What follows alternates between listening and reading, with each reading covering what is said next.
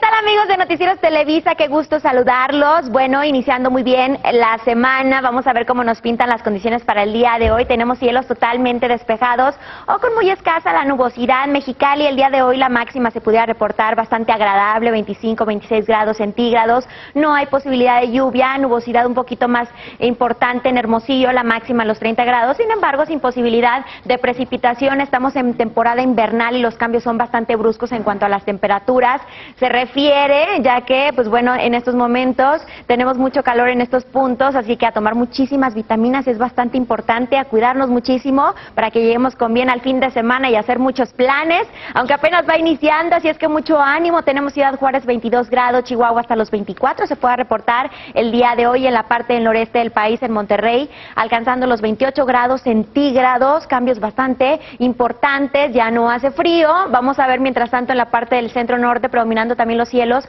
totalmente despejados. Querétaro alcanzando 27, igual que en Aguascalientes, León hasta los 29. Aquí en la Ciudad de México 26 como máxima temperatura, se espera mucho sol en las playas del Pacífico, excelentes las condiciones. Sin embargo, panorama muy distinto en la península de Yucatán, nubosidad densa y posibilidad de lluvia. Mi Twitter, Maite bajo Carranco, cuídense mucho, les mando un beso muy especial y que tengan una excelente semana.